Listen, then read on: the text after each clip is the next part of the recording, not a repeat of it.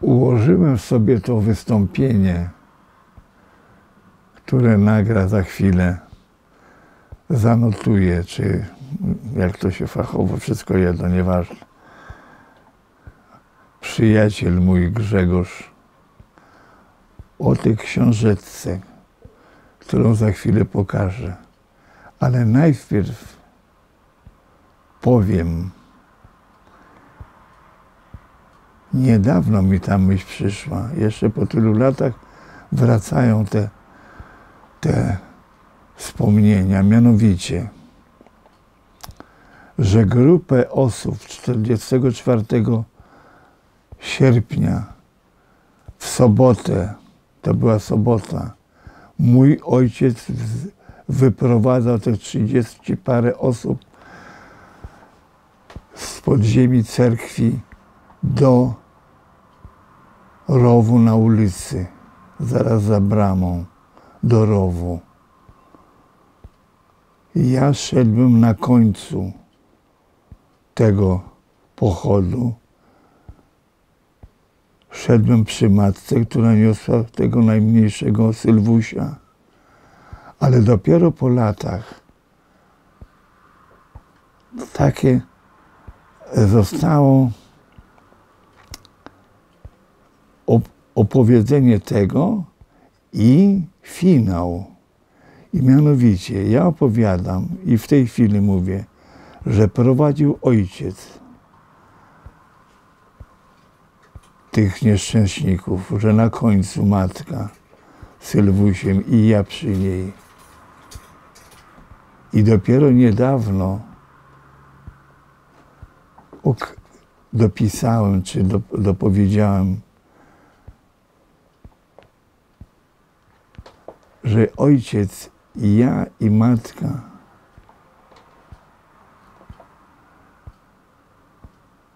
ojciec otwiera, matka zamykała w cudzysłowie ten pochód, nazywali się kępińscy. I to właściwie oddaje całą moją myśl. Nazywali się kępińscy. I teraz, żeby powiedzieć o tym najważniejszym. Kiedy już wracam do Warszawy w 1945 roku, gdzieś z dalekiej Polski i pierwsze kroki, jakie kieruję, to kieruję w, w stronę cerkwi i rowu.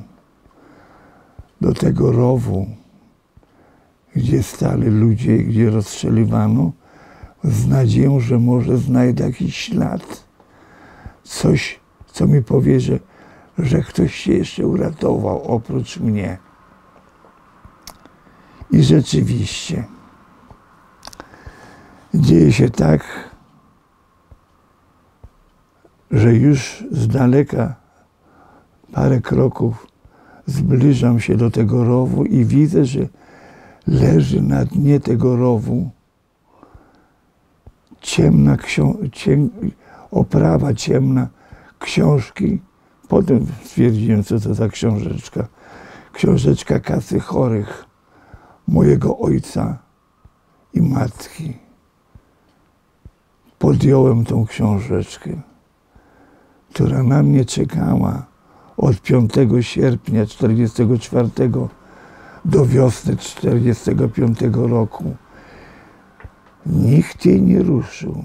A może ktoś zobaczył i położył z powrotem. Kto ją, kto ją zostawił? Czy wyleciała ojcu, jak nosili zabitych, żeby, żeby tam na terenie cmentarza skremować wszystkich? A może ojcu wyleciała, jak go nieśli zabitego z, z, kieszeni, z kieszeni? Mo, może to, może tak, w każdym razie tą książeczkę, ta książeczka Kasy Chorych czekała na mnie.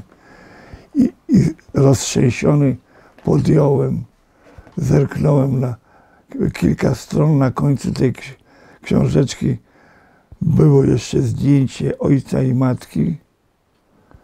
Ale jak ta książeczka wyschła, to się wszystko rozsypało w proch, jak ludzkie ciało skremowane. I, I ten największy skarb jest ze mną. Nawet wędrowała kiedyś na jakąś wystawę do Niemiec, żeby zobaczyli,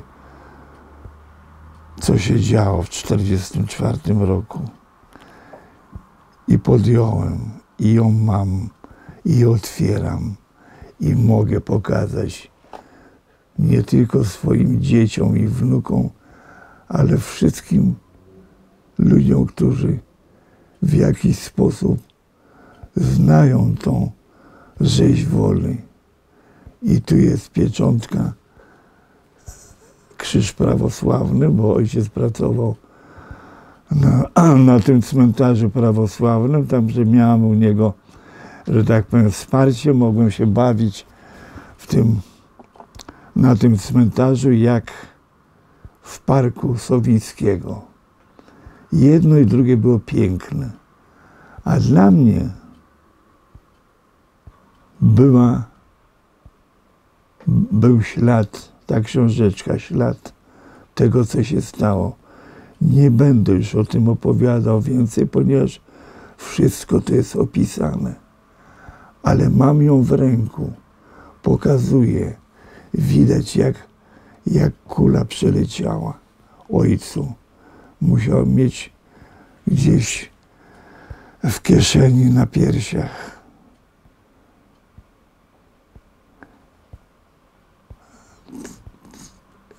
Ta pamiątka można nawet się uśmiechnąć, że ona na mnie czekała, na nikogo więcej, tylko na mnie.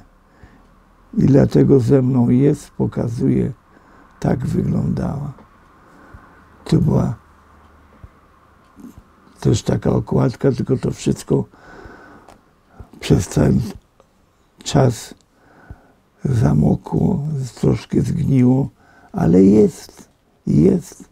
Są pieczątki zarobku mojego ojca, ile zarabiał tygodniowo, daty.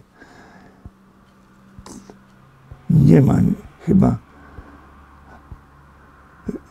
wspanialszego, wspanialszej pamiątki niż ta książeczka kasy chorych, to się nazywała.